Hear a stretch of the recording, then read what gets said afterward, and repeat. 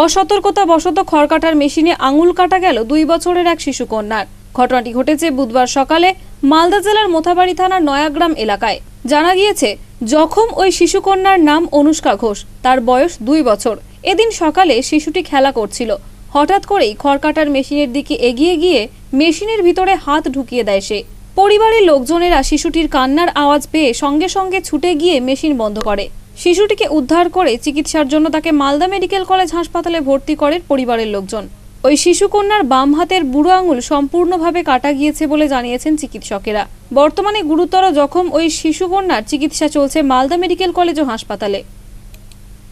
না তোমার হয়নি? তুমি আসছো কেন? চলো। বেরো বেরো বেরো। বেরিয়ে যাও বেরিয়ে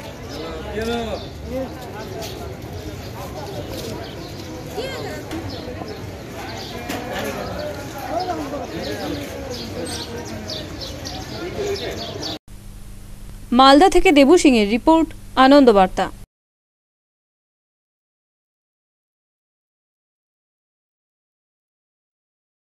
অসতর্কতা বশত খড় কাটার মেশিনে আঙুল কাটা গেল দুই বছরের এক শিশু কন্যার ঘটনাটি ঘটেছে বুধবার সকালে মালদা জেলার মোথাবাড়ি থানার নয়াগ্রাম এলাকায়। জানা গিয়েছে, জখম ওই শিশু কন্যার নাম অনুষ্কা ঘোষ, তার বয়স দুই বছর। এদিন সকালে শিশুটি খেলা করছিল। হঠাৎ করেই খড় কাটার মেশিনের দিকে এগিয়ে গিয়ে মেশিনের ভিতরে হাত ঢুকিয়ে দেয় সে। পরিবারের লোকজনেরা শিশুটির কান্নার আওয়াজ পেয়ে সঙ্গে সঙ্গে ছুটে গিয়ে মেশিন বন্ধ করে। শিশুটিকে উদ্ধার করে চিকিৎসার জন্য তাকে মালদা মেডিকেল কলেজ হাসপাতালে ভর্তি করে পরিবারের লোকজন। ওই শিশুকন্যার বাম হাতের বুড়ো আঙুল সম্পূর্ণভাবে কাটা গিয়েছে বলে জানিয়েছেন চিকিৎসকেরা। বর্তমানে গুরুতর জখম ওই শিশুকন্যার চিকিৎসা চলছে মালদা মেডিকেল কলেজ ও হাসপাতালে। না, তোমার হয়নি। তুমি আসছো কেন? চলো।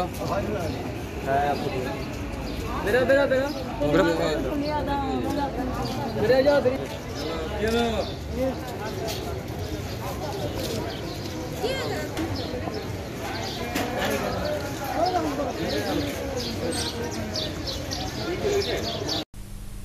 মালদা থেকে দেবু সিং এর রিপোর্ট আনন্দবার্তা।